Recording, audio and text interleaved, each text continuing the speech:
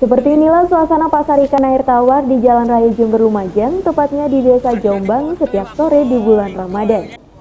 Orang datang silih berganti bermaksud membeli ikan-ikan yang dijual beralas daun pisang ini. Pasar ikan ini merupakan pasar ikan yang khas di daerah ini karena adanya cuma dadakan, ramai atau sekedar ada bila banyak ikan rawa atau sungai berhasil ditangkap dan dijual di pasar ini. Para pengendara yang melintasi jalan ini tertarik belanja karena kesegaran ikannya dan harga yang relatif murah. Kalau yang ini masih segar, kan ini hasilnya tadi mungkin, bukan Baru. esan kalau ini.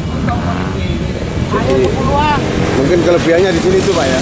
Iya. Masih segar ikannya pak ya? Harganya ringan, ikannya masih segar. Terus ini bukan ikan kolam, ikan rawa ini. Bedanya pak, apa dengan ikan rawa? Gurihnya gurih. Gurih ya rasa ya. Lezat, lezat.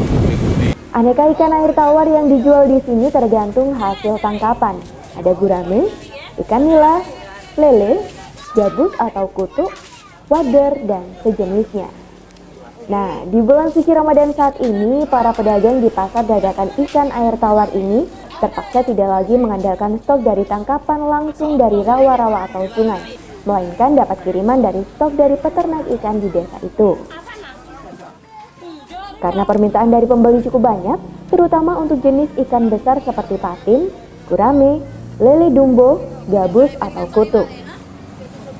Warga belanja ikan saat sore hari sambil jalan-jalan menunggu buka puasa. Suasana itulah yang menyebabkan omset penjualan ikan air tawar di sini meningkat di kala bulan suci Ramadan. Bila hari biasa, omset penjualan ikan air tawar di sini satu jenis ikan maksimal 2 kg. Tapi saat Ramadan, satu jenis ikan bisa mencapai 5 kg sehari.